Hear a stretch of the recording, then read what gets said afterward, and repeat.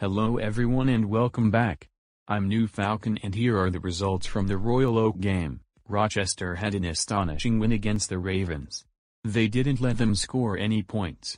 The final score was 54 to 0. So far that's the second game Rochester has won without letting the other team score a single point. Our season record is now 4 to 0. Well done once again to the football team. Let's go win some more.